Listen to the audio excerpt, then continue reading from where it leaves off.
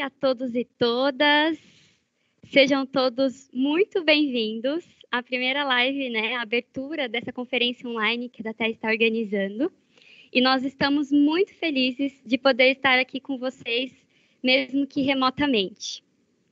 Hoje nós vamos conversar um pouco sobre as competências socioemocionais e eu agradeço desde já a presença dos nossos convidados, a Cristiane Stefanelli, o Adler, a Micaele e também aos nossos intérpretes, a Karen e o Felipe, que daqui a pouco também vai estar aqui com a gente, que são da Escola Educalibras. Bom, mas antes de iniciarmos as nossas apresentações, eu gostaria de pedir primeiro para que vocês que estão nos assistindo comentem aqui no chat, por favor, se vocês estão nos vendo e nos escutando bem, tá bom? Que a gente vai poder seguir. Podem ir comentando.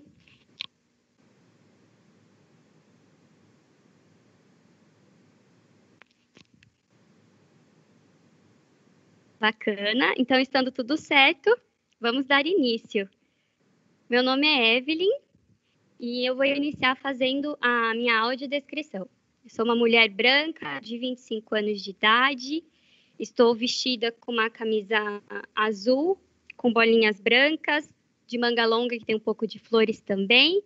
Meu cabelo é castanho, longo, tenho olhos castanhos e ao meu fundo uma parede branca.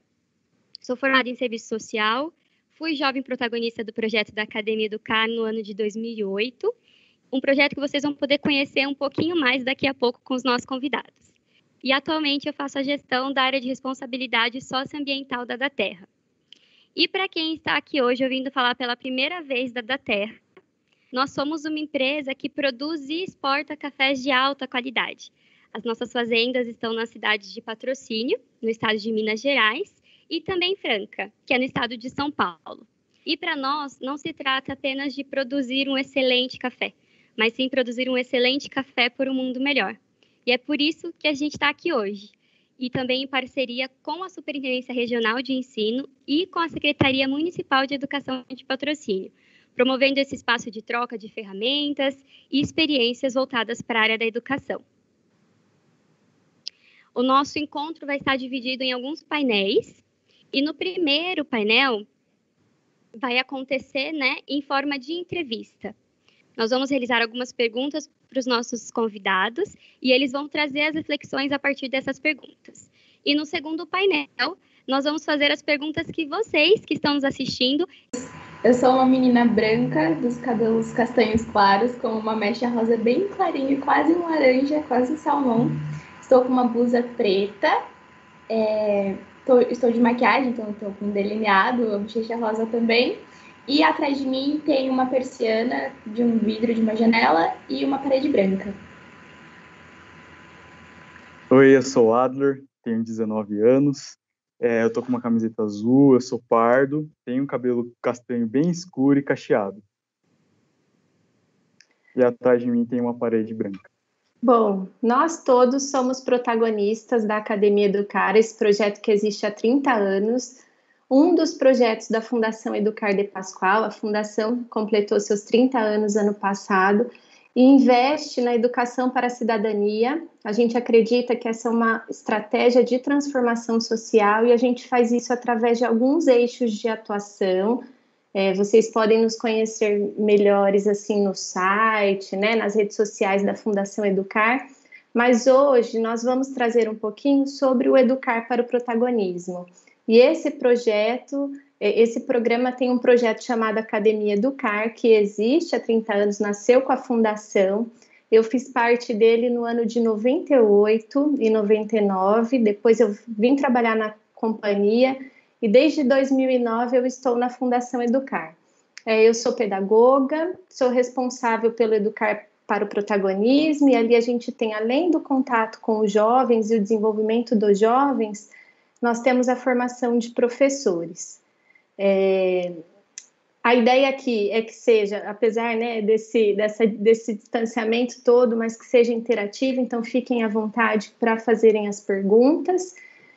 E a gente vai focar nas competências socioemocionais. Bom, Como é que a, a Academia do CAR entende, compreende a, as competências socioemocionais? Nós compreendemos como um conjunto de habilidades e atitudes que nos ajudam a fazer a gestão das nossas emoções, norteiam nossos comportamentos e é, as nossas tomadas de decisões.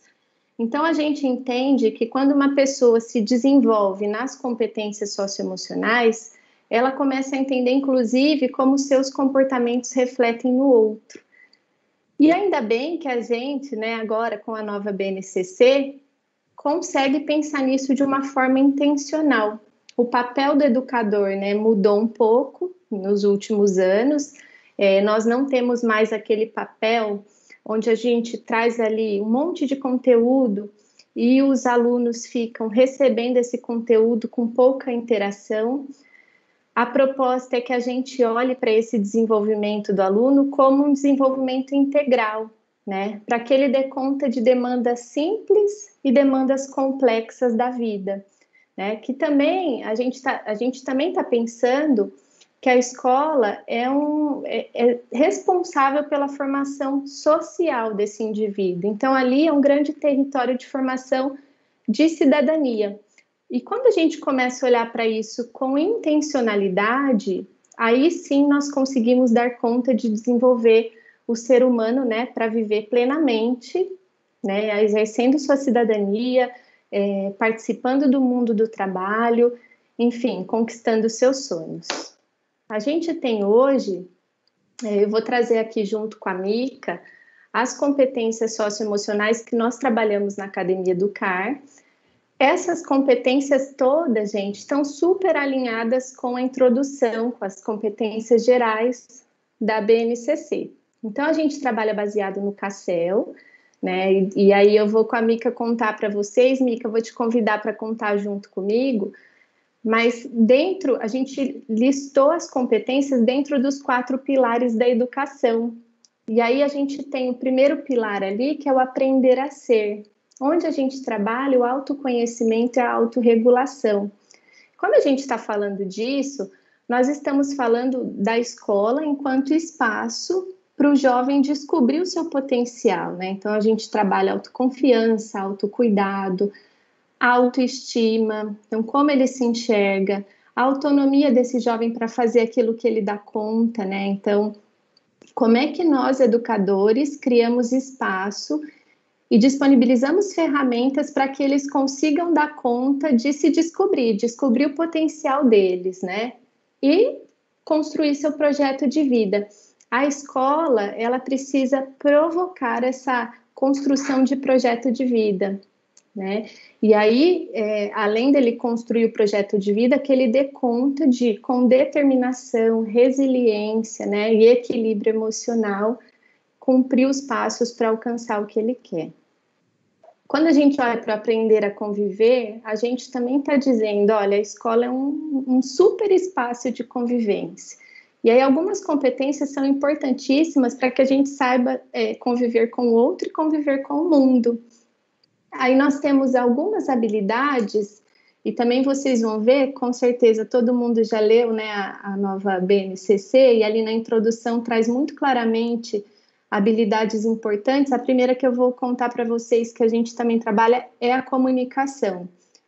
Então, dentro da escola, como é que eu é, estimulo que esse jovem desenvolva a comunicação? Então, a leitura de um gráfico, a comunicação interpessoal, a comunicação em público. Agora também, né, gente, num desafio de comunicação digital, para nós também tem sido um desafio, gera muita ansiedade. A gente, para falar aqui com vocês, a gente estava é, aqui em equipe distanciados, mas de forma bastante ansiosa, porque é um mundo novo. E essa linguagem digital, o jovem já vem, os nossos alunos já vêm com isso, né? Isso, eles já nasceram nessa era digital e a gente está aprendendo. Mas ainda assim, precisamos despertar essas habilidades de comunicação a cooperação, então esse é um exercício é, muito muito bom da gente estimular e a gente tem vários espaços pensando que a escola é um super espaço de convivência. A cooperação não pode faltar, né, entre nós professores entre gestão e professores, então todas as relações entre alunos e educadores, entre comunidade e escola, como é que a gente estimula essa cooperação? É alguma coisa importante da gente pensar.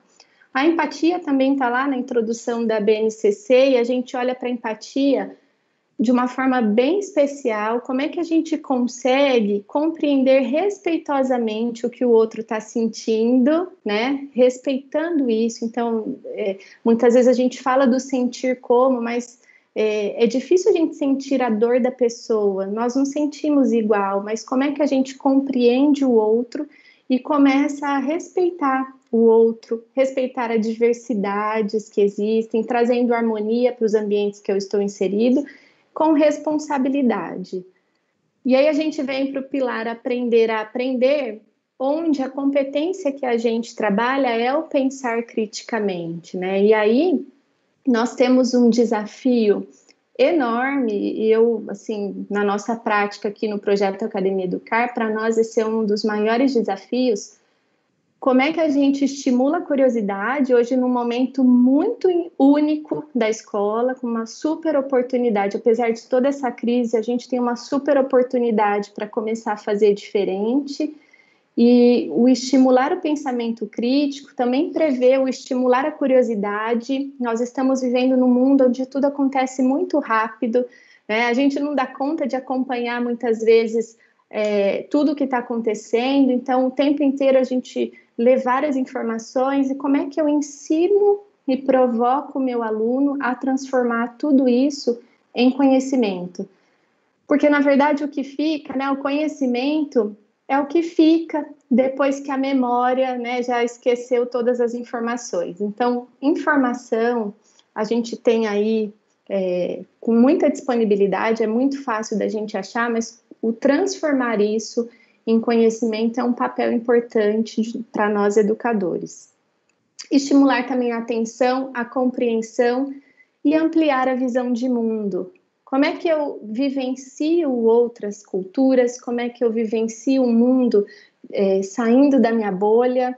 Então, esse é um estímulo importante que a escola é, pode e deve trazer para os alunos, pensando nessa formação integral. E o aprender a fazer? Como é que a gente pratica essas competências socioemocionais? Exercitando a coragem, exercitando a criatividade, a liderança, a participação, né? entendendo que eu faço parte do mundo e que eu pertenço ao mundo, por isso todas as minhas atitudes são atitudes que impactam esse mundo.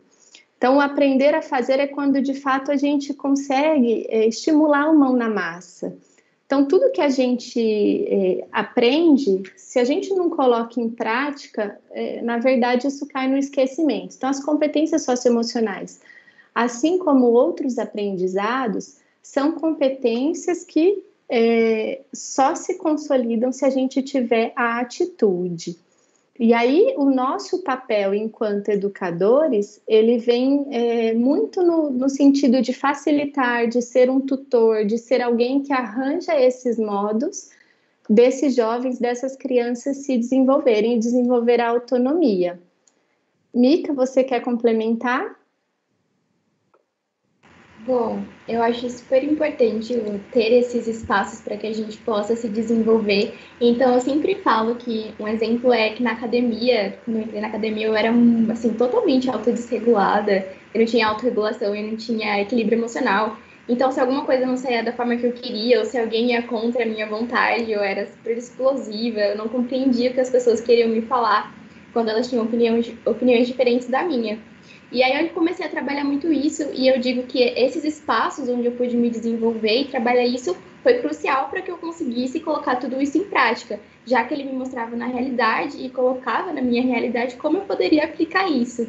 Então, é, eu digo muito dos projetos de desafios. Um deles foi a multiplicação, onde eu tive que trabalhar super a minha autonomia, o meu autocontrole, já que eu tinha que trabalhar com os meus amigos porque a gente tinha que repassar tudo aquilo que a gente aprendia na academia para os nossos jovens, né, para os jovens da nossa escola. Então, como a gente tinha que ter paciência, como eu tinha que ter paciência com os meus colegas, então, como eu tinha que trabalhar o meu, a meu equilíbrio emocional, a minha liderança, o meu trabalho em equipe. Outro é, projeto de desafio que me desenvolveu muito foi o Conhecendo o Mundo, porque nele a gente tem que falar tudo sobre um país, então a gente tem que trazer a moeda, a comida, as danças, um nativo, e é super difícil achar um nativo de um país distante, tipo um país europeu. O meu era Dinamarca, então, tipo, super difícil pra gente achar. E como a gente tinha que ser resiliente para não desistir. Então, como, como, a gente aprendeu com isso, como a gente aprendeu a aprender, como a gente despertou a nossa curiosidade para saber sobre um país. Porque se a gente não tem curiosidade, a gente não vai atrás dessa visão que a gente pode ter, a gente não vai ter essa visão de mundo, é, fora a comunicação que a gente tem que ter para conseguir entreter o público, o trabalho em equipe para a gente conseguir se conciliar para apresentar tudo bonitinho, a responsabilidade que é apresentar o Conhecendo o Mundo, né? Porque ele é enorme, então você tem que ensaiar bastante, saber tudo certinho para sair bonitinho, para eles se, se, é, se sentirem confortáveis durante a sua apresentação. Você tem que ter muita criatividade, porque o que ganha o Conhecendo o Mundo são os elementos surpresas. Então, como tudo isso, como essas oportunidades fazem a gente se descobrir, fazem a gente se desenvolver, e como isso é importante para o jovem, como isso é importante para o aluno, e como seria legal se a gente tivesse isso na escola. Então, a gente ter atividades interdisciplinares, onde a gente possa envolver o jovem é, com as matérias que tem na escola. Então, uma matéria, tipo, um conhecendo o mundo na escola, onde a gente pudesse envolver geografia, matemática, já que a gente tem que falar da economia de um país, então envolver a matemática, envolver o português, a história. Então, como a gente pode trabalhar isso envolvendo o jovem para que ele consiga desenvolver as competências e também aprender junto com elas? E aí, só complementando, né, vem uma importante coisa e um elemento é, que não pode faltar, que é a intencionalidade antes a gente pensava nos projetos, mas nós não tínhamos a intencionalidade de desenvolver as competências socioemocionais dentro desses projetos, ou enfim, dessas ações, ou das nossas aulas. Quando a gente pensa, eu não vou fazer para eles uma aula de empatia, para eu ficar né, durante 50 minutos contando o que é empatia. Mas como é que eu faço com que esses alunos descubram o que é empatia na prática? Então, o, esse exemplo que a Mica trouxe da vivência do Conhecendo o Mundo, para a gente é um projeto, é um projeto comum nas escolas, algumas escolas chamam é, Feira das Nações, Festa das Nações, eu já vi com vários nomes, e aí aqui a gente sorteia um país, né? Sorteia é, até um padrinho. O, o, padrinho do grupo de jovens é um jovem que já fez o Conhecendo o Mundo. Então, a educação entre pares é um tesouro, principalmente para esse momento de pandemia, de isolamento. Como é que a gente tem feito para chegar nos jovens? Através de outros jovens. E aí, vejam bem, é, é, muito completo quando a gente pega um projeto como esse e a gente consegue, de fato, trabalhar várias disciplinas. Né? Então, como é que a gente é, traz a geografia, a história, a matemática, o português, né? E ali eles vão aprender sobre empatia, sobre proatividade, sobre resiliência. E a gente vai ensinando, é, em nenhum momento a gente fala, ó, hoje a oficina é sobre empatia. Mas quando nós vamos discutir um conflito no grupo, aí a gente nomeia a empatia. Então, esses espaços precisam ser pensados por nós, educadores, intencionalmente. Eu quero desenvolver a, a, a comunicação, né? É, junto com a matemática, eu quero desenvolver a empatia junto com esse trabalho em equipe proposto pela disciplina de português e artes, né? Ou só pela minha matéria, minha disciplina mesmo, mas são espaços intencionais né? Isso muda bastante e a BNCC vem garantir essa possibilidade para a gente, trazendo uma escola muito mais significativa. Se a gente for ouvir aí, ou se, se der um Google aí, tem várias pesquisas com jovens, com a juventude, dizendo o que eles esperam da escola. E todas as pesquisas trazem que eles esperam uma escola que prepara para a vida, e aí não tem como a gente dizer, né, de uma falar de preparação para a vida se a gente não pensar na formação integral. Né? Não dá para separar a emoção, as competências socioemocionais, né, da inteligência, eh, do desenvolvimento cognitivo. Então, a inteligência emocional também faz parte dessa formação integral.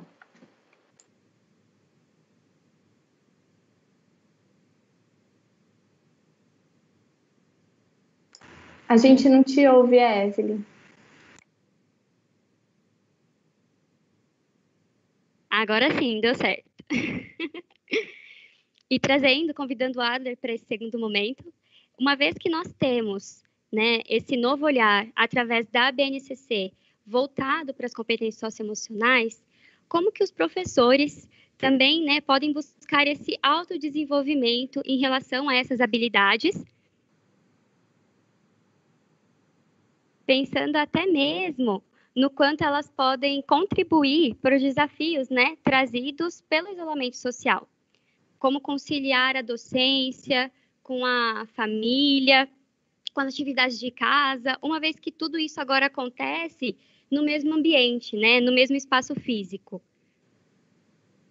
Olha só, né? É, nós vivenciamos aqui em Campinas desde março, patrocínio, por exemplo, desde maio, né? É, mas nós estamos vivenciando o isolamento social, o que trouxe né, muitos desafios para nós, para os educadores principalmente, né, assim como os profissionais da saúde, ficamos na linha de frente buscando ativamente nossos alunos para é, minimizar aí os danos desse, dessa não frequência à escola, né, desse ensino remoto, ou quem conseguiu fazer o EAD. Então, tudo isso exige, primeiro de nós, um equilíbrio emocional gigantesco. Então, se eu for pensar numa imagem da gente nesse momento, eu penso num malabarista, num equilibrista, tentando dar conta de todas essas demandas que apareceram para a gente.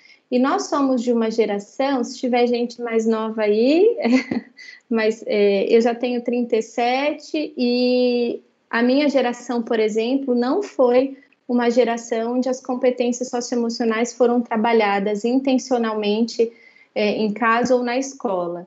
Na verdade, nós tivemos a sorte de ter espaços importantes de socialização como por exemplo as brincadeiras na rua, né? A gente brincava de pique-esconde e ali, né? Vôlei. É, pelo menos aqui em Campinas hoje eu vejo as crianças um pouco mais fechadas nas suas casas e a gente tinha todo esse espaço de socialização que era o bairro, que era a convivência é, com as brincadeiras na rua. E a gente acabava desenvolvendo essa coisa do aprender a dividir, né, de aprender a cooperar mas na escola nós não recebemos essa formação. Também na formação, quando eu fiz pedagogia, acho que a é, grande parte de vocês também, é, nós não recebemos essa formação, essa didática, onde a gente tinha ali a possibilidade de aprender a criar espaços de desenvolvimento do socioemocional. Então, esse é o fato, e tá tudo bem, né? nós vamos aprender juntos. Então, é, é uma grande, nós temos aí uma grande oportunidade de aprender junto com eles e ensinando a gente se desenvolve bastante. E é um momento coletivo de desenvolvimento. Então, é, a gente precisa pensar no desenvolvimento dos nossos alunos, mas também no nosso autodesenvolvimento. Então, como é que eu passo a me conhecer um pouco mais?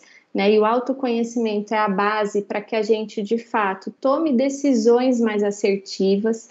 Quanto mais eu me conheço, quanto mais eu entendo as minhas emoções, consigo nomear essas emoções, consigo, de fato, além de nomear, gerir essas emoções, porque as emoções nós sentimos todas. Eu não sei se vocês são da época onde a gente não podia, se a gente falasse assim, tô com raiva do amiguinho, nós éramos repreendidos, porque sentir raiva era ruim, né? Não, mas hoje nós já sabemos e já assumimos que sentimos todas as emoções. E aí o que a gente faz com isso é, é que é o X da questão. Como é que a gente aprende a é, gerir tudo isso, né? Tem um o filho de uma amiga que diz como é que a gente aprende a derreter as emoções que a gente considera ruins, né? Então, de repente, a raiva, a braveza, eu, se eu percebi que eu estou com raiva, é, como é que eu consigo lidar com tudo isso? É, então, o exercício de autoconhecimento para nós nesse momento é importantíssimo, né? E de equilíbrio emocional. é, a gente chama de válvula de escape aqui, carinhosamente, né? Nós chamamos de válvula de escape. Quais são os espaços que você tem para você para alimentar sua mente?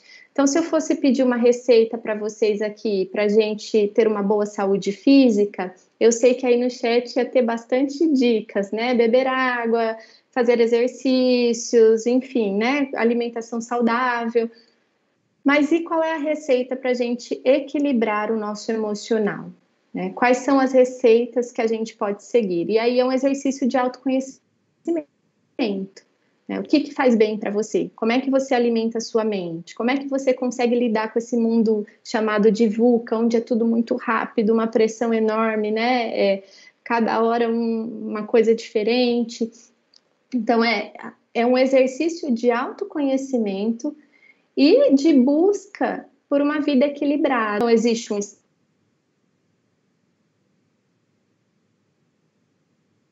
Né, estamos aí equilibrando é, e conciliando as atividades profissionais dentro de casa e é um novo normal, né, tentando chegar nos nossos alunos, muitas vezes a gente não consegue acessá-los, e isso causa uma angústia para nós educadores, porque nós temos ali a convicção, a missão do, da importância do ensinar, né, desse processo de ensino-aprendizagem, e como é que eu chego também causa angústia. É, então, dicas para a gente desenvolver o socioemocional com eles. Então, não, não tem problema, a gente pode desenvolver junto com eles é, buscando o autoconhecimento e o equilíbrio emocional, quais são as suas práticas, quais são as práticas que fazem bem para você e, te, e, que te ajudam é, a se conhecer melhor. E aí, gente, questionamento: por que, que eu estou sentindo isso? É, se eu me sinto angustiado, ah, então eu tenho que nomear: por que, que eu estou sentindo essa angústia? É, o que está causando? A gente olhar para dentro mesmo. É, e aí, uma outra dica muito importante é o quanto os ambientes de troca têm sido fundamentais para os educadores. Então, como é que a gente troca, mesmo à distância, mesmo, né, é, de repente, é, vocês podem montar grupos, o momento pedagógico de vocês, como é que a gente troca essas angústias, esses desafios que a gente está vivendo e que a gente vai viver também no retorno às aulas presenciais, né? Como é que a gente planeja esse ambiente todo, né? Juntos. Então, o buscar ajuda, o compartilhar, o trocar ideias, o trocar as angústias também é uma habilidade socioemocional, né? É, e nesse momento de pandemia, onde tudo é muito complexo, é necessário acolher. Então, primeiro a gente se acolhe, né? E a gente acolhe o outro também. Né? Nós estamos é, num momento onde a gente precisa pensar no acolhimento lá da frente, no retorno ao presencial. Vocês terão um momento como, é, né, com outro palestrante para falar sobre isso mas é muito importante pensar no acolhimento desse momento também. Como é que eu acolho essas dores todas que a gente, que nós profissionais da educação estamos sentindo, e a gente consegue fazer a gestão disso juntos.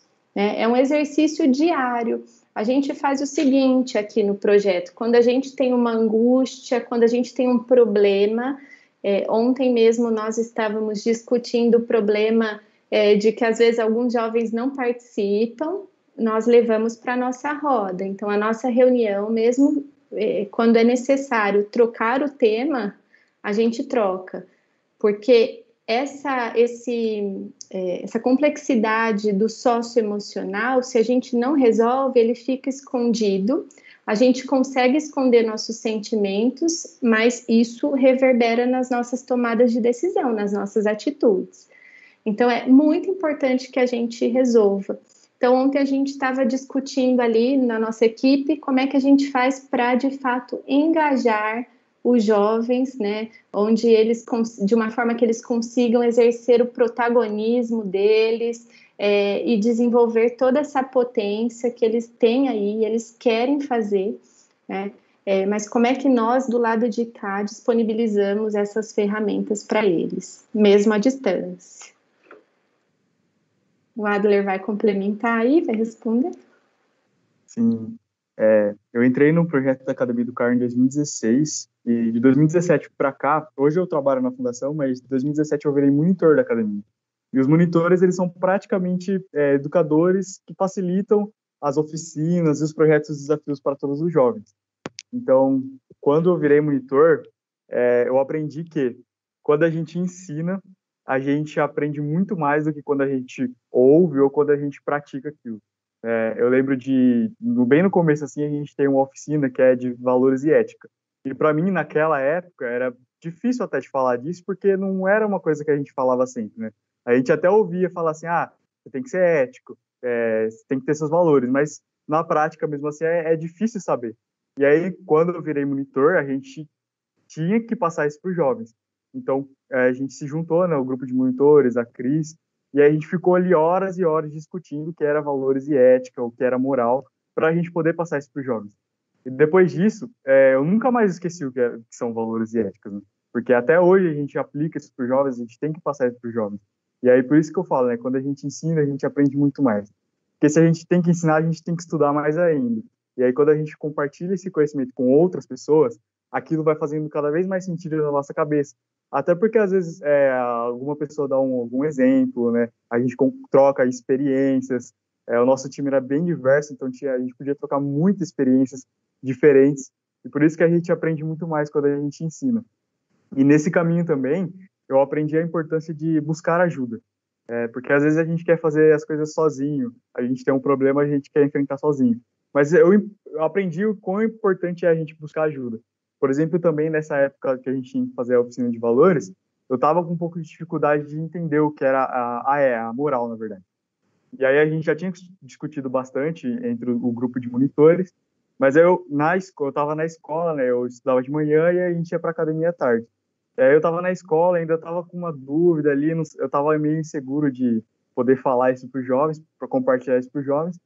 E aí eu aproveitei que eu tinha aula de sociologia e português naquele dia, eu era um pouco mais próximo dos professores, eu pedi ajuda deles. E eles me ajudaram muito, porque né, a gente tinha discutido já o que era entre jovens. E aí, quando veio a visão do, do professor, né, o que era para ele valores, ética, moral, me ajudou muito também a crescer com, com esse conhecimento. E aí, a partir daí para frente, buscar ajuda para mim virou praticamente um valor. Um, é, é, sempre que eu estou com dificuldade, eu tenho que buscar ajuda, independente do que é. Se eu estou com dificuldade na tecnologia é, eu vou procurar alguém que, que sabe, saiba mais do que eu para pedir ajuda é, sobre algum conceito que a gente tem que passar na academia do CAR. Então, isso é muito importante, ficou muito para mim, eu vou levar isso para o resto da minha vida. Bom, e gente, como que o professor pode se utilizar das competências né, socioemocionais no processo de ensino-aprendizagem e a Cris já falou né, que mesmo à distância a gente pode encontrar algumas ferramentas. Eu sei que a Academia do CAR está vivendo uma experiência diferente esse ano, que é desenvolver essas habilidades no jovem à distância. E eu acredito que vocês poderiam trazer um pouquinho também dessa experiência como ferramenta para os professores se utilizarem também desse, dessa experiência de vocês para poder, poder trabalhar com os alunos à distância.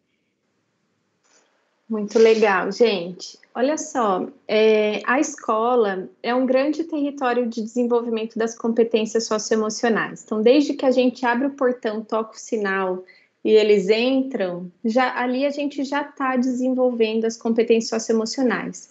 Mas só se a gente olhar para isso e pensar que nós, se o olhar for intencional, a gente consegue fazer isso.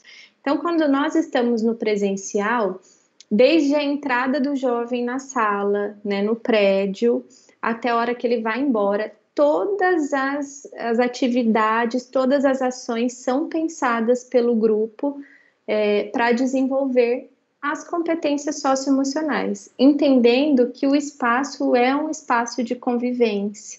Né? Então, como é que a gente ensina respeito? Né? Como é que eu ensino respeitar o outro, ter empatia?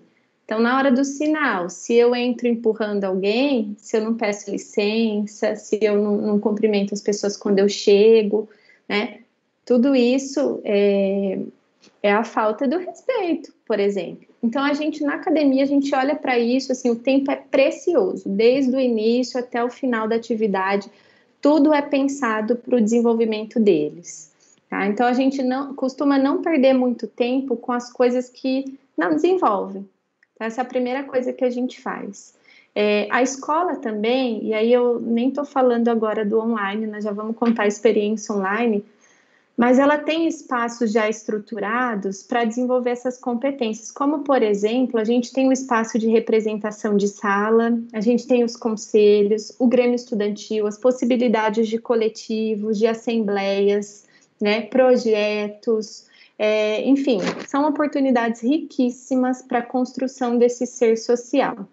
Mas mesmo quando eu tenho, por exemplo, uma representação de sala, se eu não olhar para isso como um projeto onde esses jovens vão se desenvolver, eu não trago esse espaço nem as ferramentas para eles. Então, todas as possibilidades que a gente tiver dentro da escola, a gente tem que usar, né? Todas as ferramentas precisam ser usadas. Hoje já é um direito, né, deles se desenvolverem no socioemocional. A BNCC traz isso. Agora, como é que a gente de fato coloca em prática? Então, é, é com esse olhar. É, por exemplo, um Grêmio estudantil. O Grêmio estudantil ele traz a possibilidade deles aprenderem desde comunicação, planejar um projeto, fazer a escuta de outros alunos, né, de entender o que é cidadania, o que é democracia, né? A gente está falando esse ano, ano de eleições municipais, a gente está falando da importância do voto consciente, mas é, e muitas vezes a gente faz um grêmio na escola onde não tem eleição, né? Então é o olhar para isso, né, de uma forma que a gente esteja ali preocupado em desenvolver esse cidadão, esse cidadão ativo, né? Cidadania, a gente traz muito a cidadania de uma forma ativa, onde de fato ele pertence e participe, né? Onde ele olhe para a democracia como um valor pessoal, por isso que ele entende a importância dele participar. É, e, e, se eu de repente tenho um grêmio que é desestruturado, por exemplo, ou um projeto que é desestruturado no sentido de desenvolver essas habilidades, aí eu perco a chance de fazer isso. Então, vou dar um exemplo. Ah, a gente tem ali as eleições.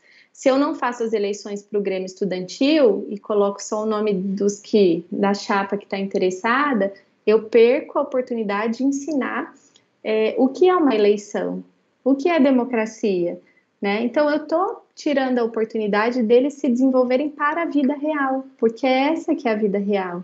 A gente vai passar por isso lá na frente.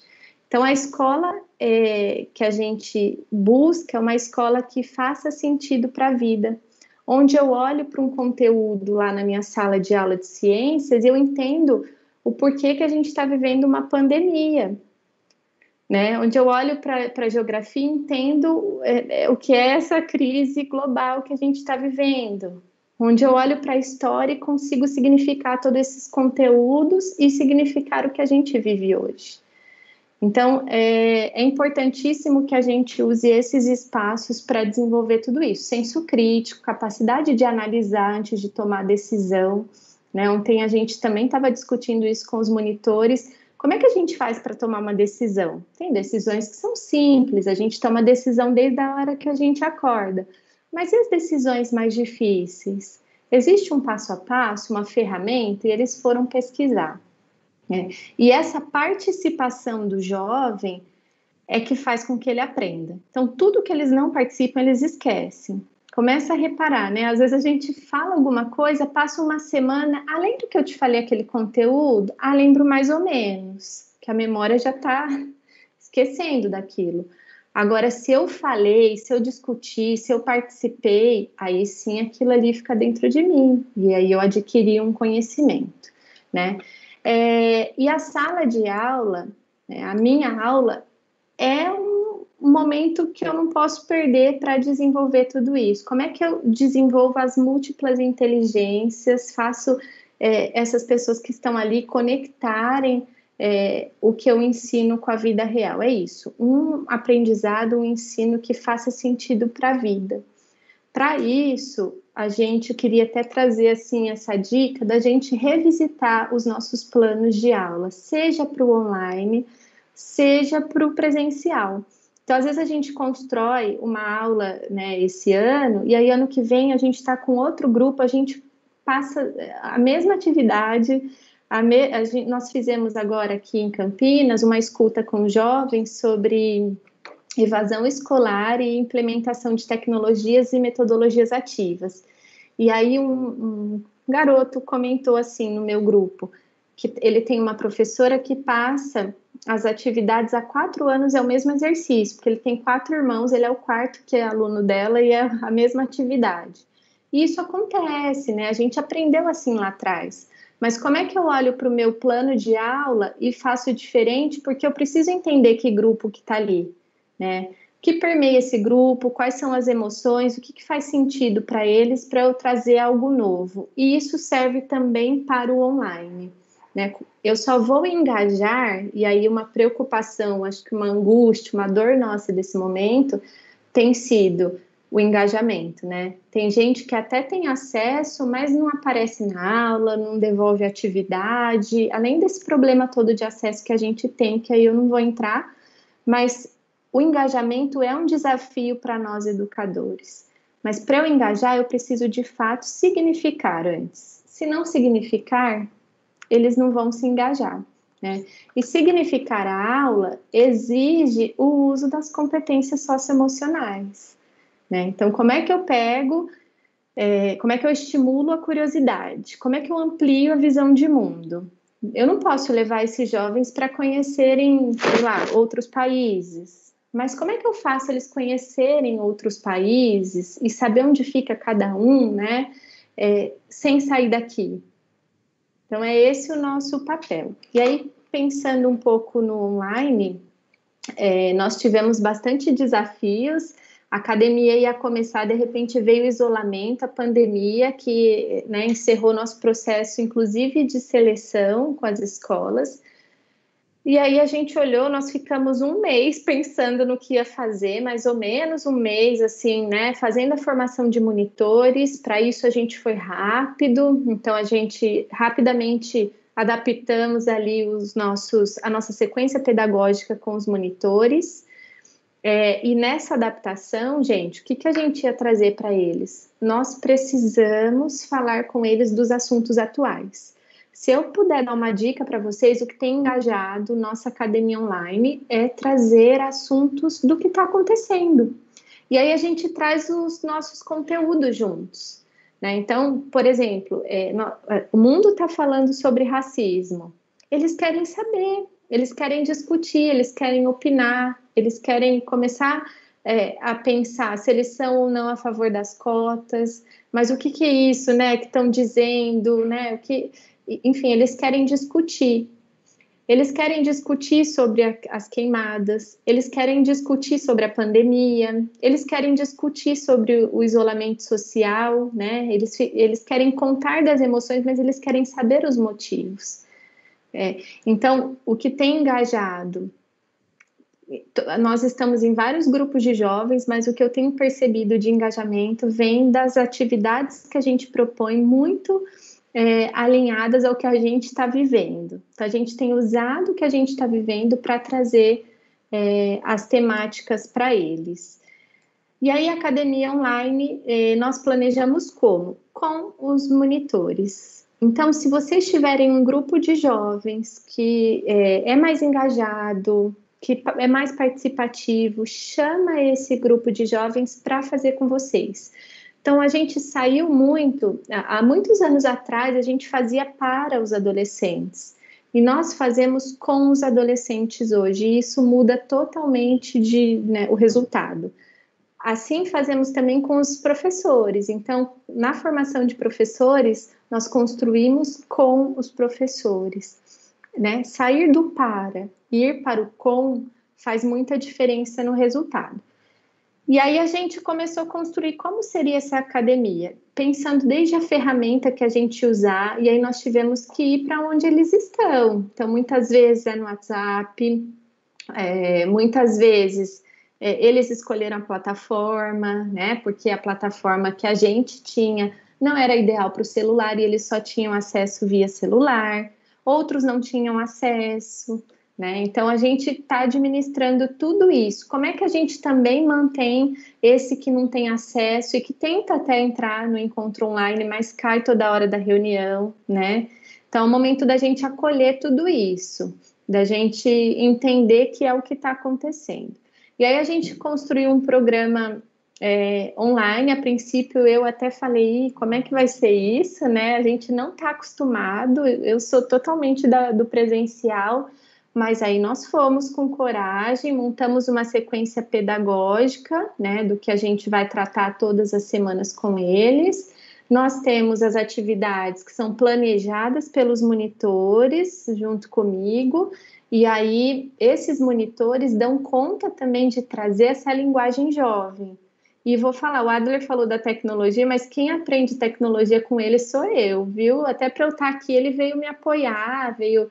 É, eles sabem muito mais da, do que a gente, né? Não sei se todos vocês, mas é, eles nasceram com a linguagem digital já, eles nasceram nesse, nessa época. E aí a gente pode trazer para perto, como é que eles nos ensinam também. Né? E aí eles vão trazendo ferramentas é, que a gente nem imagina que, que tenha. Então, antigamente a gente fazia dinâmica com post-it, existe o post-it online. Era a dinâmica onde a gente vai né, colocando as palavras, existe a nuvem de palavras. Tudo que você pensar de possibilidade existe. Quem é que tem trazido? Os jovens, tá? Junto com a gente, os jovens planejam. E aí, eles trazem junto comigo a academia online para os outros jovens, que estão super angustiados em suas casas, que estão num momento de muito estresse. Eu acho que vocês fizeram escutas, né, com eles. É uma angústia. Faça um momento de você ouvir as emoções, quais são as dores deles. E a gente é, escuta. Nós, eu já passei é, mais de uma hora ouvindo as dores deles, né? Esse momento onde eles estão é, crise, com crise de ansiedade né, preocupados com o vestibular ou com o vestibulinho, preocupados em perder o ano, sem poder sair de casa, com vontade de sair, mas por que, que eu tenho que decidir não sair, né? E, e, e agora, nesse momento que está um pouco mais flexível, como é que eu me cuido e cuido das outras pessoas?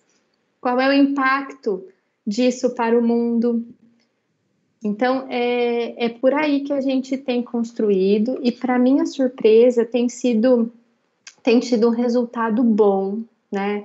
É, é, o resultado, assim, o que eu sinto falta, gente, é da prática, né? Aquela prática onde o jovem vai de fato colocar a mão na massa, construir grandes projetos. Isso é, o, é na escola. É ali que ele vai aprender a solucionar problemas da vida real da comunidade, né? Porque é ali que ele está em contato nesse momento do online, a gente está vivendo muito assim, ó, os problemas da minha casa, os problemas do mundo, como é que eu contribuo, o que, que eu faço para contribuir é, com as queimadas do Pantanal. Cada hora que eu entro nas redes sociais deles, eles têm ali uma militância, né? É pelo meio ambiente, é pelo... eles estão participando mas ainda assim é, eles podem mais. A gente sabe que eles podem muito mais. E a escola é esse espaço. Então a gente tem feito academia online. Eu considero sim a possibilidade até de um híbrido ano que vem, mas esse presencial realmente faz falta para a prática. Mas a gente tem dado conta de desenvolver várias das competências, até a competência da comunicação. Eu tenho pego no pé deles, né? Todo mundo no começo estava com vergonha da câmera. Então, realmente, né, a gente, é, essa tela, né, é muito diferente para nós. E aí nós trouxemos para eles, a gente precisa acostumar com esse novo normal. Não é verdade? Hoje até entrevistas para trabalho às vezes é via tela, né? E aí, como é que a gente faz? Então, ligar as câmeras, e tem sido emocionante quando eles ligam as câmeras para falar, para se colocar, para expressar, levantar a mão, e tudo isso tem acontecido. É... Acho que é a Mica, né?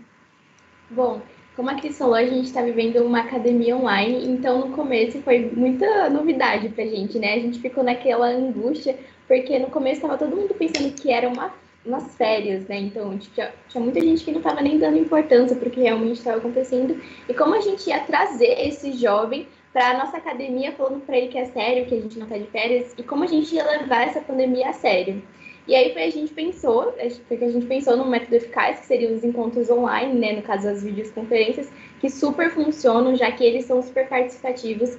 É, a gente tinha muito medo no começo de se eles não participarem, se eles ficarem muito quietos e não houver uma participação. Mas logo no primeiro encontro já foi super legal, super divertido. Eles super participaram, eles super foram assim se colocaram. Então era muito legal, é muito legal ter eles com a gente. Fora que as construções com os monitores é muito legal também, a gente traz temas que realmente são relevantes, como ontem a gente estava discutindo sobre o Pantanal, então a gente lê um pouco sobre o que estava acontecendo e como isso traz significância para o nosso dia a dia, como isso traz significância para a nossa atualidade e como isso se encaixa em tudo que a gente está vivendo. É, fora que o nosso, né, como o Adler disse, o nosso passar dos monitores para os jovens é muito eficaz, porque eles nos entendem, a gente entende eles e caso ocorra alguma coisa, a gente entende o que está acontecendo.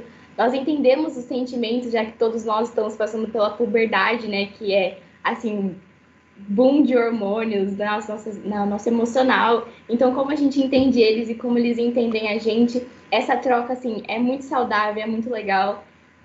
Eu gosto bastante, é um momento que eu sinto prazer de estar com os meus jovens, de estar com os monitores, é muito legal, é muito bom construir isso com eles. E esse espaço é onde a gente pode se desenvolver mesmo estando longe né, um do outro. Então, é um momento que a gente sente que é prazeroso estar lá aprendendo, estar ensinando. A gente aprende muito com eles, da mesma forma que eles aprendem com a gente.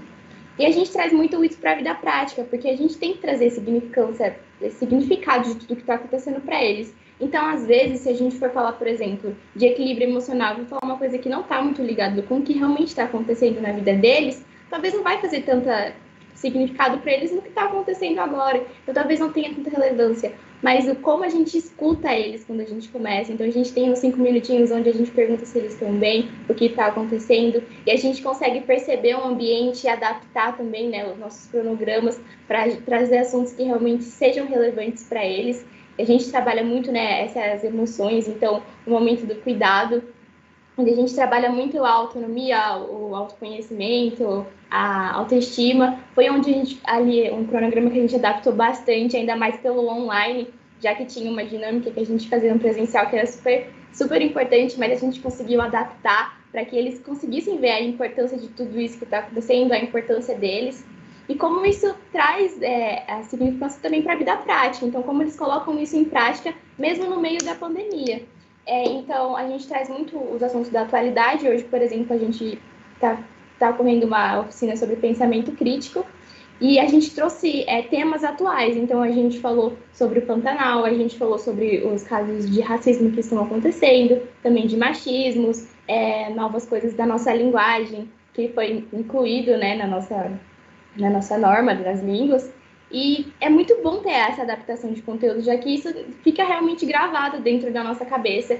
É, eu lembro muito mais das coisas quando eu faço na prática do que quando eu só fico ouvindo, ouvindo, ouvindo. Óbvio que cada um tem seu método de aprender, mas quando a gente faz, quando a gente participa, quando a gente é parte de tudo que está acontecendo, eu acho que fica muito mais preso na nossa mente, fica muito mais é, gravado e a gente consegue aplicar em todas as áreas do nosso conhecimento e também da nossa vida e conectando com o que vocês falaram, né, de trazer para a realidade, para as coisas que acontecem no dia a dia, para os problemas reais que estão acontecendo na vida dos jovens e da sociedade como um todo, hoje nós enfrentamos, além de uma pandemia em escala global, a gente também enfrenta crises na área da saúde, na área social, política e econômica.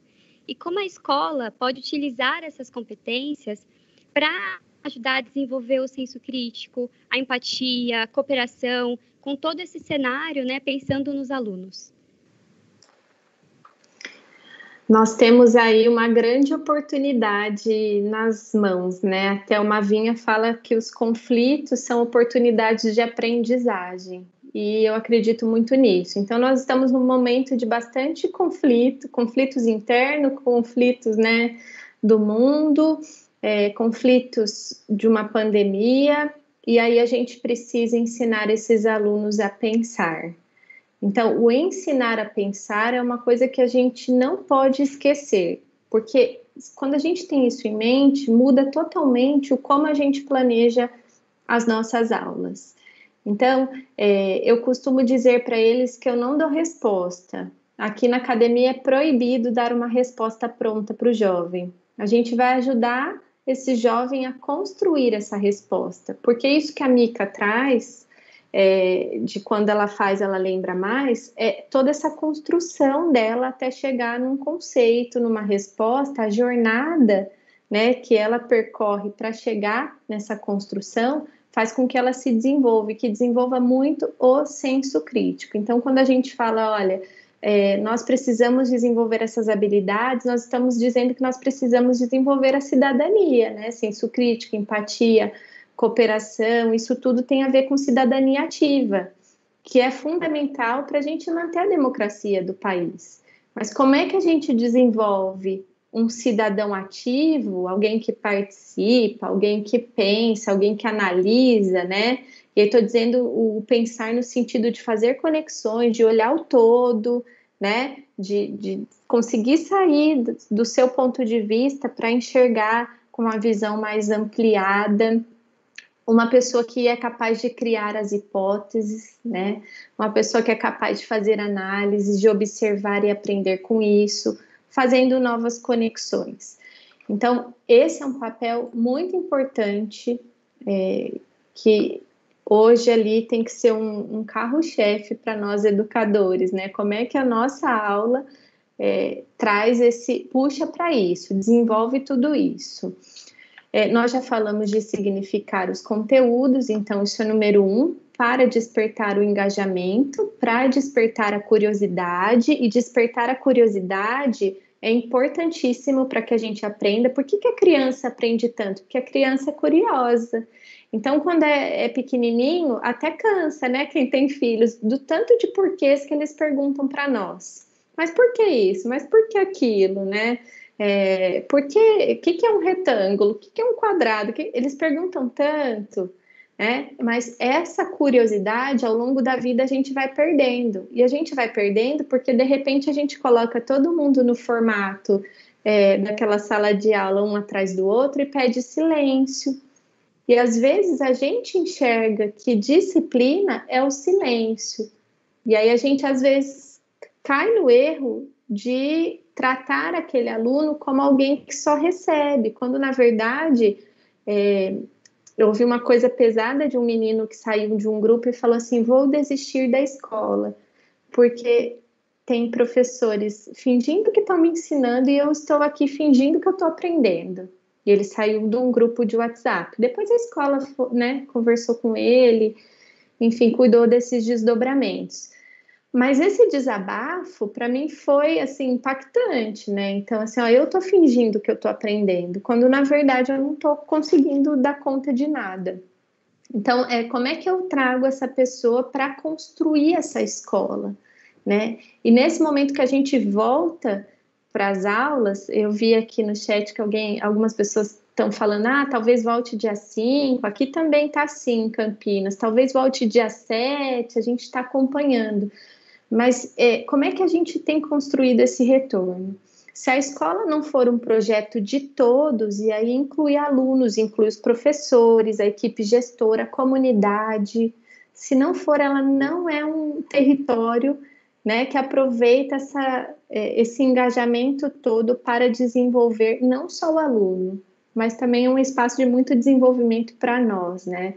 É, eu me sinto muito desafiada por eles, e eu tento aproveitar o máximo dos desafios que eles me, me trazem, porque quando a gente abre espaço para eles falarem, eles também exigem da gente é, habilidades para a gente lidar com toda essa fala, né? Com todas essas coisas que eles trazem.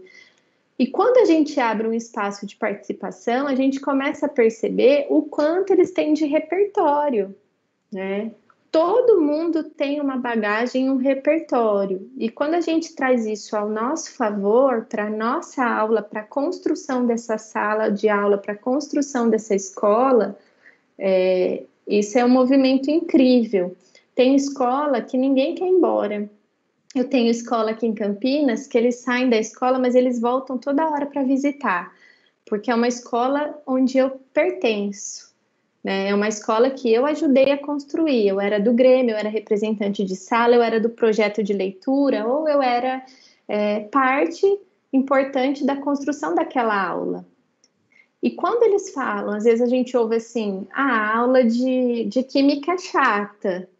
Mas, na verdade, é, não é que a aula de química é chata, é que o processo, às vezes, de facilitação, é claro que a gente tem mais afinidade com algum conteúdo, com alguma matéria ou alguma disciplina, sim, né? Eu acho é, bonitinho eles falando, ah, eu sou de exatas, às vezes está no sexto ano, eu sou de exatas, eu sou de humanas, eu penso, quando eu estava no sexto ano, eu não pensava essas coisas, se eu era de exatas de humanas, mas eles é, trazem já essa fala, quando na verdade a gente é, às vezes traz um método diferente que faz com que eles amem a nossa disciplina.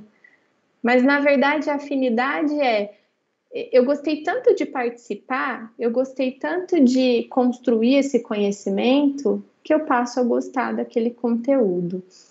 É, a gente precisa pensar nisso. Nós temos, eh, nas últimas semanas, discutido assuntos riquíssimos, onde a gente pensa muito em como é que a gente faz para desenvolver esse senso crítico nos alunos. Né? Como é que a gente faz para desenvolver essa responsabilidade, a cidadania? Né? O, o Brasil precisa dessa participação, desse engajamento.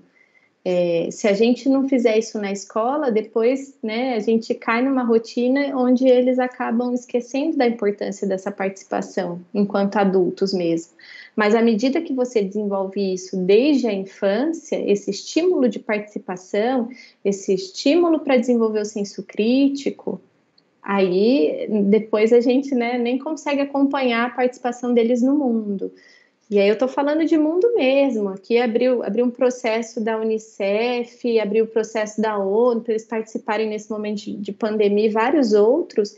E a gente vai vendo que eles se engajam, porque eles querem falar, eles têm muito a dizer. Nós abrimos aqui em Campinas, semana passada, nós estamos planejando a Semana da Educação. E aí, é, dentro desse processo, a, a, proposta é mobilizar a sociedade para colocar a educação pública de qualidade como prioridade. E aí a gente tem traz esse ano uma escuta com jovens, uma escuta com professores, a voz dos especialistas e a voz dos candidatos, pensando o que, que eles têm de propostas para a educação de Campinas. E o processo de escuta dos jovens foi sensacional, então, a gente abriu para eles se inscreverem, nós tivemos 140 inscrições e eles é, participaram muito, falaram muito da escola que eles querem, trazendo, gente, os problemas e as soluções. Então, eles têm muito repertório para também sugerir para nós, para também construir juntos, construir no coletivo. Né? Tem saído várias pesquisas, eu não sei se vocês acompanham o Porvir, eu gosto muito de acompanhar o canal do Porvir, tem bastante notícia boa para gente, e saiu uma pesquisa do Somos Educação, onde eles compartilharam, é uma pesquisa com a neurociência, e eles compartilharam que é, nesse momento online, né, de ensino remoto, o que tem funcionado para transformar informação em conhecimento é a participação dos alunos.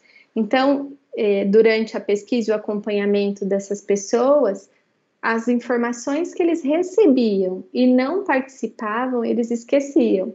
Agora, quando eles participavam falando, dando opinião, aí isso ficava guardado. E aí é isso que a gente chama de conhecimento. Então, às vezes, uma sala de aula onde está todo mundo em silêncio, sem participar, não é uma sala de aula é, tão disciplinada assim. Às vezes ali só está o silêncio. E eu não estou dizendo que né, a gente tem que ter uma sala bagunçada, desorganizada, nada disso. Mas desde o formato que eu coloco a minha sala de aula, né, até a, as provocações que eu faço, as oportunidades de interação que eu trago, tudo isso faz parte do desenvolvimento das competências socioemocionais e de outras competências. E quando eu não falo, eu não elaboro o que eu preciso falar.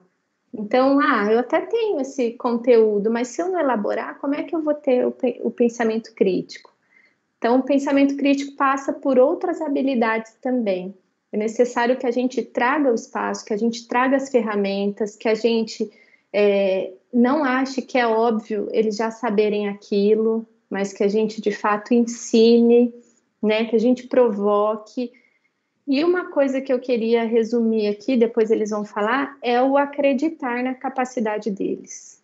Né? Tudo isso passa pelo acreditar. Então, o olhar do educador precisa ser um olhar que acredita, né? um olhar que de fato acredita na competência, na potência, que se ele não chegou ainda, ele pode chegar, né? E aí a gente precisa criar é, formas, ferramentas para eles chegarem, não deixando ninguém para trás. Então, é isso que a gente faz na academia. Se tem um para trás, a gente arranja uma forma de, de chegar até essa pessoa. E nesse momento de distanciamento, se você não chega nessa pessoa através do acesso né, à internet, nós temos muito esse problema, aí você pode chegar de outras formas. Então, como é que você manda um recado, né? Se você puder falar com um amigo, manda um recado. Esse vínculo com a escola não pode tá, é, ser interrompido. Né? Então, é uma experiência pessoal. Meu filho, a professora dele, pediu para eles retirarem o material na escola e pediu para a família levar o filho. E aí quem tinha carro, quem ia de bicicleta, quem ia a pé, ia né, com a máscara, eles mandaram essas orientações para as crianças. E que eles teriam uma surpresa. A hora que ele chegou lá, ele viu a professora dele esperando por ele. E foi um momento emocionante, porque fazia seis meses que ele não via a professora. E ele voltou para casa e falou: Mamãe, eu estava com tanta saudade da minha professora. É, então, é como é que a gente vai criar forma de manter o vínculo? Dá para eu escrever um bilhete e entregar para alguém? Tá bom, não dá. Dá para eu mandar né, um recado através de.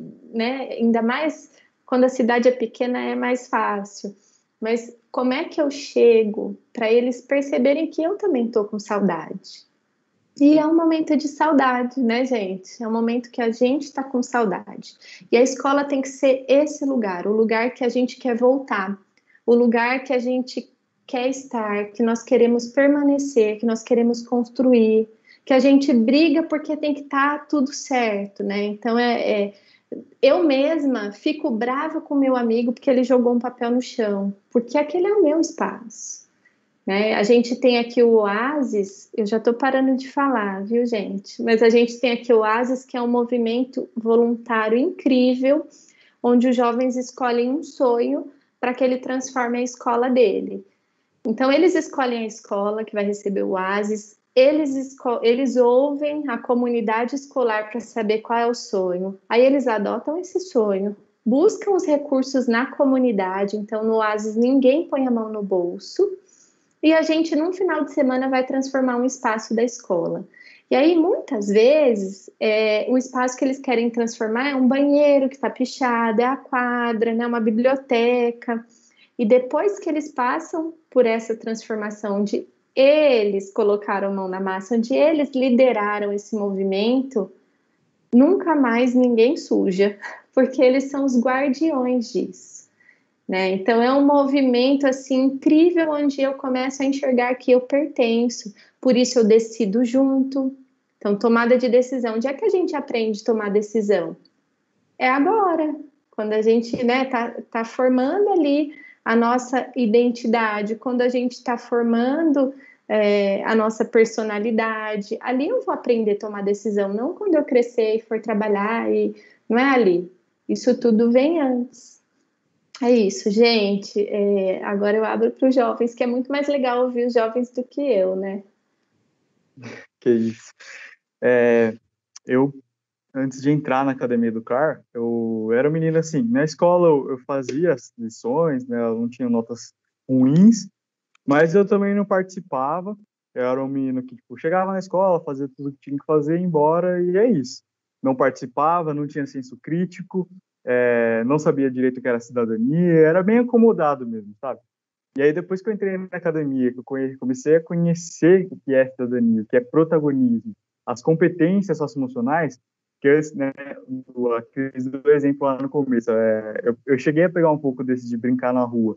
Então, às vezes, às vezes a gente até desenvolveu uma habilidade ali, mas não tinha intenção, né? A gente não sabia que a gente estava desenvolvendo aquilo. E aí, depois que você começa a conhecer as competências, e aí aquilo começa a fazer mais sentido para você, né? Quando a gente fala de empatia, quando a gente fala do aprender a conviver, né? De compartilhar, de fazer. E aí começa a fazer mais sentido. Então, dentro da academia, né? Desenvolvendo essas habilidades, eu comecei a perceber mais é, ter mais autoconhecimento, conhecer quem eu era, o que eu gostava, as, as, os meus pontos fracos, as minhas habilidades. E aí comecei a, a desenvolver isso, né? Lógico que eu ainda estou desenvolvendo, a gente desenvolve isso praticamente o resto da vida, mas é, eu comecei também a desenvolver o meu senso crítico, né? Porque eu não gostava de política, não gostava de falar de política, não queria saber, mas eu também não entendi o que era política. E aí, quando eu aprendi o que era política, né? é, quando a gente não fala de partido, de política, nada disso, quando a gente fala de política, né? A organização de um país, quando a gente fala de políticas públicas, e aquilo começou a fazer sentido para mim, eu comecei a participar mais da escola, que eu também não participava, né? Eu ia só assim, quando tinha uma festa, alguma coisa, mas não participava do grêmio, de conselho, nada disso. Aí que eu comecei a participar da escola. Né? Comecei antes a participar dos conselhos de classe, e ser representante de classe também. E depois eu entrei para o Grêmio. E aí eu virei presidente do Grêmio e continuei participando dos conselhos de tudo que tinha. Então eu vi essa importância de participar. E eu lembro, eu, como já falei também, eu não gostava muito de dar minha opinião, de falar minha opinião, e também não tinha senso crítico. E uma vez, no primeiro ano que eu estava na academia, a Cris falou para mim: Ó, você precisa falar mais sua opinião na roda, né? Quando a gente faz a roda de fechamento, a gente precisa falar é, qual é a nossa opinião que eu ficava só formulando aquilo e nunca falava. E né, a Cris falou, quando a gente só formula e não fala, é, a gente não, não estimula, que a gente não, não, não, formula bem aquilo lá e não fica gravado na nossa cabeça. E aí eu comecei a praticar isso pouquinho em pouquinho, claro, foi muito difícil, porque eu também era muito tímido, né, não gostava muito de falar em público. E aí eu fui desenvolvendo isso de pouquinho em pouquinho, até que um dia, é, é, quando eu era monitor da academia, nós fomos convidados aí até o Todos, Todos pela Educação, para a gente construir um documento de juventude e esse documento seria enviado para Brasília. Então, tipo, é, eu que não, nem queria saber de políticas públicas, não, não gostava de dar uma opinião, de repente estava participando da construção de um documento tão importante como esse, né?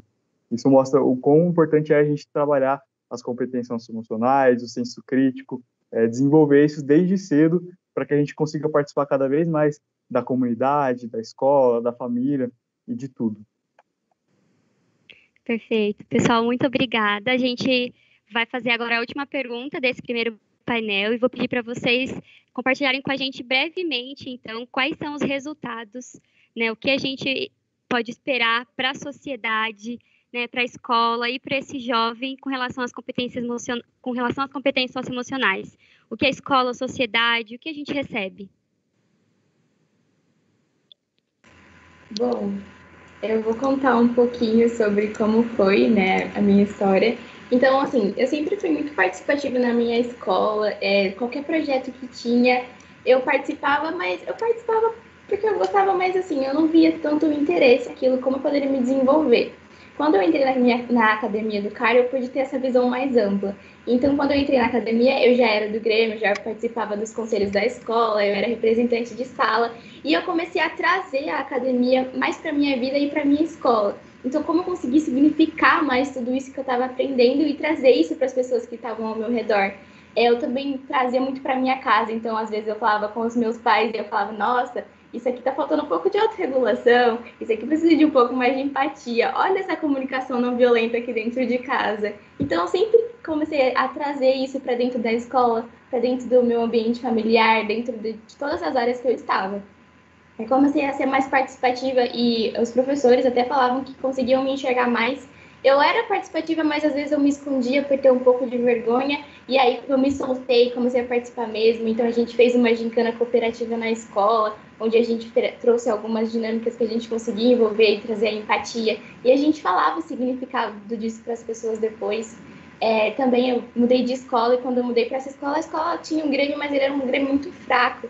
E como eu pude trazer isso para fortalecer esse grêmio na escola, esse grêmio dessa escola, trazer a comunidade, já que eles tinham zero interação com a comunidade, então como a gente conseguia fazer essa, essa conexão né, da escola com a comunidade, e como jovem é importante nisso, como é importante a gente ter esse lugar para a gente poder se desenvolver, para a gente poder compartilhar tudo aquilo que a gente está aprendendo. Afinal, é, acho que tem muito uma mente de que o jovem ele tem que só que receber, receber, mas o jovem ele transpira muito, muito conhecimento, é, muitas coisas que podem ser úteis e são úteis para a nossa sociedade, para a nossa escola, para a nossa família, e como eles têm que entender que nós jovens somos sim parte dessa construção, é, seja escolar ou seja familiar. É, e trazer muito jovem, sabe? Dar o espaço dele. Então, o representante de sala não é só para levar um papel para imprimir lá na diretoria, não é só para pegar um bilhete para entregar para a turma ou cortar alguma coisa para entregar para a turma. O representante de sala, ele representa a sala, então ele tem que fazer assembleias, perguntar o que, que a gente pode melhorar dentro da sala de aula. Às vezes o ambiente não está tão agradável e o representante de sala vai e seja um mediador desses conflitos, ele seja um portal entre o professor e os alunos, o portal entre a diretoria e os alunos. O representante tem que ter essa representação, essa atividade. Então, eu lembro que quando eu era representante, a gente tentava trazer, então a gente pediu para os professores para a gente fazer uma assembleia para ver se a gente conseguia melhorar um pouco mais a nossa sala. Funcionou por um tempo, mas depois deu uma enfraquecida, mas foi super útil. No começo, assim, deu um bom, a nossa sala melhorou muito, a gente era muito panelinha e a gente conseguiu se unir mais. Tanto que no final do ano foi incrível o nosso passeio, a gente conseguiu ser super mais unidos e hoje em dia a gente tem contato até hoje. Isso é muito legal ver que essa diferença, esse essas coisas que a gente fez trouxeram impacto para nossa vida até hoje.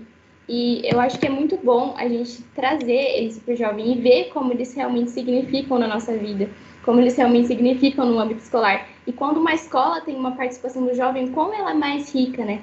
Porque você pode ver que uma escola que tem mais participação de jovens, como o Grêmio é forte, os representantes são fortes, os conselhos são fortes e a escola anda muito bem, ela tem super a comunicação com os jovens e a comunidade escolar, que também ganha muito com essa participação. Muito obrigada, Mica. Bom, pessoal, nós temos aqui alguns comentários né, do, da galera que está assistindo a gente. E na verdade, nós tivemos aqui um professor que compartilhou uma dificuldade, que às vezes, é, mesmo buscando propor atividades voltadas e conectadas em relação às competências socioemocionais, existe um pouco de dificuldade em relação a, ao engajamento do aluno, ou às vezes da família. Como que a gente pode trazer alguma ferramenta e trocar um, e compartilhar alguma experiência com relação a situações como essa? Olha, o que funciona muito com a gente, que é algo da metodologia da academia, que nós não abrimos mão, é o de jovem para jovem. Então, a gente tem um grupo é, de adolescentes que nos ajudam a, a engajar os outros alunos. Então, é, esse, essa educação entre pares, a linguagem né, de jovem para jovem, é muito mais rápida e efetiva do que a nossa com eles. Então, eu sempre tenho um time o time da academia, tanto na formação de professores quanto na formação dos jovens, ela é feita por um adulto, né, que sou eu atualmente, sou eu, sou educadora da academia, mas os outros são jovens. Então, uma dica para vocês: a gente já teve várias experiências aqui em Campinas com escolas que fizeram isso. Então, montar ali o seu time de jovens protagonistas ajuda bastante, seja na sala de aula, seja é, para atividades em outros projetos, né, monitorias. É, monitoria funciona muito, nós já fizemos projetos de matemática com monitoria de alunos, projetos de educação física com a monitoria. E aí, é, da nossa parte, vale trazer essa formação para esses monitores. Então, esse alinhamento mesmo de como é que a gente precisa que funcione. E eles têm um monte de soluções ali. Então, essa é uma dica. Inclusive, eu já tive várias experiências com adolescentes com bastante problemas de indisciplina. E quando você traz esse jovem para perto e engaja, né, ele consegue canalizar toda a energia dele para o positivo. Então, eu teria várias histórias aqui para compartilhar com vocês, mas é, olhar para eles como uma potência de colaboração dentro desse espaço é importante. Trazer os pais. Por muito tempo eu tive muitas dificuldades com as famílias. E aí eu ficava tentando achar qual é a chave das famílias, né? Porque muitas vezes o pai não deixa o filho participar, até porque o filho gosta tanto, e aqui, na minha experiência, virava até o castigo. Então você não vai, né, para lá, pro para o projeto que você gosta tanto, ou fazer essa atividade extra é, com a Cristiane que você, né, que você gosta tanto, que você quer tanto, porque você não lavou a louça, porque você não arrumou seu quarto. E esse virava um castigo. Eu tinha sérios problemas com isso. Então, gente, a primeira coisa que a gente faz hoje no projeto Academia do Cara é trazer os pais para uma reunião Tá, então assim, tem vezes que a gente tem que fazer mais de uma reunião e às vezes reuniões individuais, então nós nos dividimos, mas os pais, a comunidade precisa saber qual é o projeto político-pedagógico da escola. Então, é como é que a gente traz isso e deixa isso transparente para a comunidade, para todos os alunos a comunidade, os alunos, eles precisam conhecer a equipe gestora, quem é quem. Então, às vezes a gente entra em escolas que eles confundem quem é o diretor, quem é o coordenador. Precisa ter claro quem são as pessoas, né? Qual é o papel de cada um e quais são os projetos daquela escola. E aí, o porquê você vai trabalhar desse jeito com os alunos é importante para os pais entenderem. E, e, aí, a partir do momento que os pais compreendem a, né, a, a relevância disso para o desenvolvimento dos filhos deles, eles começam a fazer um pouco mais parte disso. Mas eu uso outras estratégias também com a equipe da academia. Então, tudo que a gente faz, a gente tem um lançamento para os pais. Né? Então, por exemplo, a gente faz um oásis, convida os pais. A gente faz um curta-metragem, a gente lança para as famílias. A gente faz o Conhecendo o Mundo, a apresentação é para os familiares para os pais se darem conta de quem são os filhos. Né? Então, ali tem pai, gente, no Conhecendo o Mundo, por exemplo, que a hora que o filho apresenta um país, por exemplo, ah, apresentou a Argentina, o pai fica na plateia chorando durante a, a hora inteira de apresentação, porque ele nunca imaginou que o filho dele fosse capaz de fazer essa apresentação, né? Porque a gente é diferente em casa. E aí é mostrando para os pais a importância dessa sua condução pedagógica para que eles consigam se engajar junto com vocês. Tô, estourei no tempo, né? Muito obrigada. Bom, eu gostaria de agradecer novamente. Nós chegamos aos minutos finais da nossa, do nosso encontro, né, da nossa live. Nesse momento, a nossa equipe está colocando um link para vocês é, aí no chat que é o link para os professores e para os participantes que gostariam de receber um certificado. Ele vai ser um certificado único no final dos quatro encontros. Então, você sempre assina para a gente de forma online, preenchendo o formulário desse link, para que depois a gente possa disponibilizar o certificado, ok? Ele vai ficar disponível aí no chat até quando a gente encerrar a transmissão ao vivo. E eu gostaria de estender alguns minutinhos para que a Cris, o Adler e a Mica façam seus agradecimentos e suas considerações finais. Gente, muito obrigada, né? O nosso tempo é muito curto, mas a Fundação Educar fica aí disponível para a gente trocar experiências, para a gente aprender, crescer juntos. Nós temos todos os materiais da academia, materiais é, para educadores no nosso site. Temos também um projeto bem especial chamado Leia Comigo, com a distribuição de livros. Nesse momento de pandemia, os livros são disponibilizados, na verdade, todo momento, mas nesse momento principalmente, tem ali a disponibilidade para download, para vocês usarem também com as crianças. Temos alguns para adolescentes. E a ideia, a ideia é essa, né? O quanto a gente se fortalece, né? É, pensando nesse intersetorial para que a gente consiga, de fato, construir uma educação pública de qualidade. Essa é a nossa missão, é para isso que a gente está aqui, para contribuir. Então, meus agradecimentos a todos vocês e também a disponibilidade da Fundação para vocês contarem com a gente. Obrigada da Terra também, a Superintendência, né, a Secretaria Municipal de Educação pelo convite e pela parceria de sempre. Também quero agradecer, é né? muito gostoso estar aqui com vocês, poder compartilhar é, isso. Então, é, a qualquer momento, se vocês quiserem trocar com a gente, né, conhecer mais como é a academia, chama nas nossas redes sociais, no Face, no Instagram, qualquer lugar que a gente responde, a gente tenta trocar o máximo que a gente puder. Muito obrigado também a da Terra e a todos aí. Até a próxima, galera. Ai, gente, eu queria também agradecer pelo espaço que vocês deram pra gente. Isso é muito legal, ter esse espaço de fala, esse espaço onde a gente pode compartilhar tudo que a gente vive, tudo que a gente conhece. E essa troca que é muito sadia e que é muito boa, assim, muito prazerosa de estar aqui. Então, obrigada da Terra, obrigada por todos. E é isso, gente. Sigam lá a Fundação nas redes sociais.